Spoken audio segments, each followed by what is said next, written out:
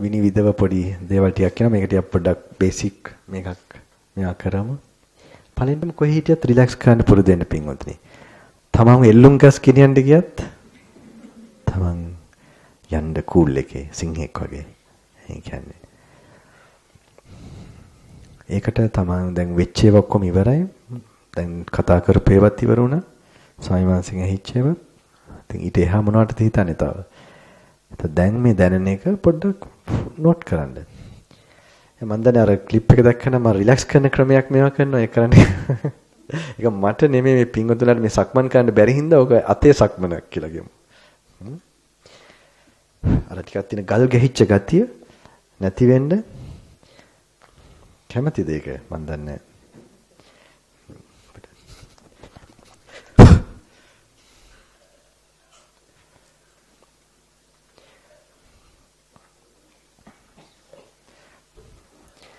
ඒතර භාවනා කරන්න කියලා යන්නේ බොහොම රිලැක්ස් කරන්න යන්නේ. ඔක්කොම අත්හරින්න යන්නේ. මොනවත් කරන්න යන්නේ හොඳට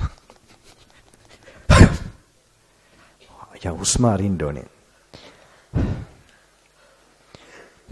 තියෙන උඩේ බර ගතිය.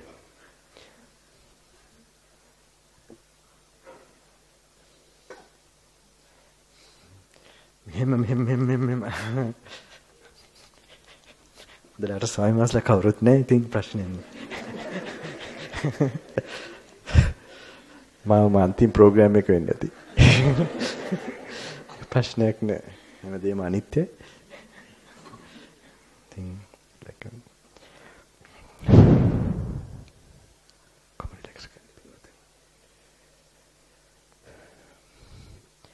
තමගේ මස් පේශී ඔක්කොම සුවපත් වෙන එක නිකන් රිලැක්ස් වෙන්න ඕනේ. ස්වාමීන් වහන්සේගේ ඔන අත පොඩ්ඩක් බලන්න. මේ විදිහට රිලැක්ස් වෙන්නත් ඕනේ මහත්තයා. පවවනේ මට හරි මේකයි මහතුරු හරි රත්තරන් මේ පින්වතුන් ඔක්කොමලා පින්වතුනි. මම දන්නේ මගෙන් හරි සේවයක් වෙනවද කියලාත්. හ්ම් කොහොම හරි මේ අත මෙහෙම උස්සලා මෙහෙම අතරින්ද දෙන්න. උඩට මුස්සන්නේ. හොඳට කමනේ රෆ් එකට උඩට උස්සන්න.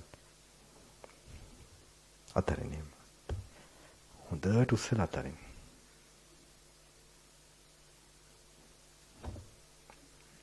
රිලැක්ස් කරන්න. දැක්කද? රිලැක්ස් එකේ ඉන්න. ඒක නිකන් මෙහෙම උණ කමින් අතරින්න මේ ඇඟ බලලා නැග දිහා බලලා අතරින්න කොහෙද මම අල්ලන් ඉන්නේ මැරෙන්න ලෑස්ති වෙන්න. ස්වයං වාසේ ගොඩක් මැරෙන්න ලෑස්ති වෙච්ච ගමන. ඇත්තට මගෙන් ගොඩක් අය ලංකාවේ තමයි ওই ප්‍රශ්නේ ඉන්නේ. අහනවා ඒ කියන්නේ ස්වාමීන් වහන්සේ මොන වගේ ඵලයකටපත් වෙලාද කියලා. ඒ කියන්නේ ඒක අපේ ලංකාවේ common මේ සුද්දන්ගේ තව එකක් තියෙනවා මම ඒකත් කියන්නම්. ලංකාවේ කට්ටිය සමහරවිට ස්වාමීන් වහන්සේගෙන් අහන්න ඕන ප්‍රශ්නයක් දෙක. ඒ කියන්නේ ස්වාමීන් වහන්සේ මේ මොනවාද මම කියන මමත් ඇත්තට මගේ දිහා බැලුවා පස්සේ. පස්ස බලනකොට ඉතින් ආන්දර කැලේ හිටියා හිමාලය යනවා මොනවා හරි ඒගොල්ලන් බලාපොරොත්තු වෙයි. මගේ දිහාම බලන්නේ යනකොට මට මෙහෙම දෙයක් පේනවා. කවුරු දැන් බුලට් එකක් අරන් මෙහෙම ආවද ඔබ වහන්සේ අපවත් කරනවා දැන් හරි මරනවා. මම මේ කරපු දේවල් ඒක ෆේස් කරන්න ගොඩාක් උදව් වෙනවා. මේ කරපු ඔක්කොම. ඇතරම අපි මැරෙන්න ඉස්සෙල්ලා අපිව මරන්න ඕනේ. අපේ ආසාව තනතර Tamanට ඒක ලොකුම බය ඒකනේ පින්වතුනි.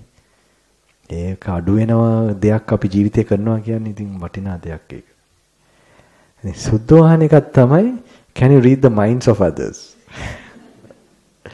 ඉතින් දවසක් මම එහෙම ඇහුවම මම ඉතින් එකපාරට බා no no I can't.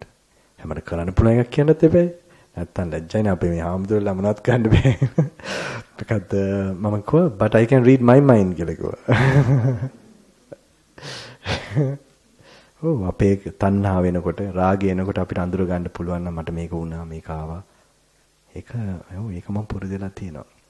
පින්වතුනි දන්නවද අවුරුදු 24නේ මම මේකත් කියන්න ඕනේ. ටිකක් බෝස්ට් කරනවා වගේ 20 කීයද 7 නෑ. 18 ඉඳන් මම අර මගේ වෙනසක් වුණා. මම ඒක මේ පරණ දායක මහත්තයෙකුත් එක්ක මම දන්නේ අද කියවුණා යත් එක. යරත් නිකන් සෝමසමය මන්තේ මුලට මම හිතන්නේ මේ සමහර හම්බෙයි මහත්තයා ඉන්නවත් දන්නෙත් නෑ. කොහොම හරි. ඒ කාලේ ඉඳන් මේ අද මේ මොහොත වෙනකල් දැන් අවුරුදු කීයද? 20 ගණන් වෙනවනේ. 24ක් 5ක් 6ක් දැන් 45යි මට. මේ මම කෙනෙකුට මෙහෙම බැනන මෙහෙම පව කළ බැන පොස්තර මම ගණන් කරා. ඒ කියන්නේ හැබැයි වැඩි තියෙන මේ පාර ඉන්දියාව ගමනේදී පස් පාරකුත් වුණා. ඉතින් කරන්න දෙයක් නෑ ඒක අවස්ථාවල් ආවා. මෙහෙම මං ගණන් කරා 1යි 2යි 3යි විශේෂයෙන්ම ටැක්සි ඩ්‍රයිවර්ස්ලත් ඒක. ඉතින් මේක මගේ මොන හරි කර්මයක් තියෙනවා එයාත් එක්ක. ඉතින් එයා චීට් කරන්න හදනවා එහෙම නෑ. ඉතින් මේ පාරත් මං අහු වුණා. ඒක තැනකදී මම මෙයාට මේ ඉතිස්සලා පාරේ නම් බ්ලඩි ෆූල් කියලා කිව්වා. ඒ කියන්නේ ඒ වගේ මෙයක් වුණා. ඉතින් ඒ මම දන්නවා මට ද්වේෂය ආවේ සත්තමලිය ආවේ. හැබැයි මම ගණන් කරා. මම ඉතින් හැබැයි ඒ කාලේ අදිෂ්ඨාන කරා මම පස්වෙනි පාර අපවත් වෙනකල් කරන්න නැතු ඉන්නවා කියලා. හැබැයි දැන් ඔන්න පහ දැන් හයවෙනි පාරට යන්න වෙනවා.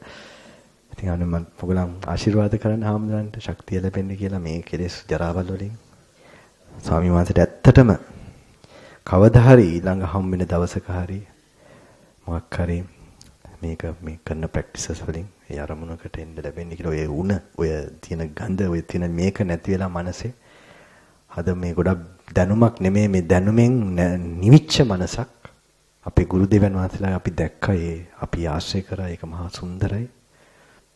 ඒක ඒ ඒ වගේ මට පොඩ්ඩක් හරි මේ අයට මම ගුරු හාමුදුරන්ට මෙහෙම තිබුණ ගුරු හාමුදුරුවම ජර්මන් ස්වාමීන් වහන්සේ කෙනෙක් ඉන්නවා. ඒ ස්වාමීන් තමයි අපිට උරුම වැඩි මේ ප්‍රසිද්ධියක් නෑ. සයමාංශය තමයි මාව ඇත්තටම මම මේ தත්ත්වයට දැන් මේ ඉන්නේ.